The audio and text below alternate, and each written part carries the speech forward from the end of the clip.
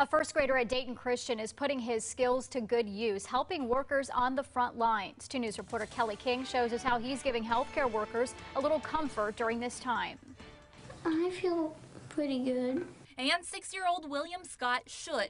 To many, he's a lifesaver, or better yet, an ear saver. An EU save it. For the past week, I like watching it so like I can know when it's done. he's been busy. I bought it when 3D printing was still fairly new, um, as something to tinker with. William has now taken over 3D printing ear protectors. His mom, a physician at Dayton Children's. The masks are uncomfortable enough to breathe in, but they're necessary, and you know we're all willing to wear them. But then when it starts wearing on your ears too, that's unnecessary. William with his ear protectors to the rescue, also helping the group making masks for Dayton. people on the front line, they're like, oh my goodness, can I put in for workers' comp for sore ears? William is the youngest volunteer for making masks for Dayton. So far, he's created nearly 100 of these ear protectors. Once we knew we were gonna make them and we got the 3D printer, Dad got it out instead of the first few. Each one takes roughly 20 to 30 minutes to print.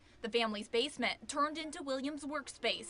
Pretty much everyone I passed in the hallway at work snatched one as I was walking by. If demand isn't testament enough, It feels good. this is.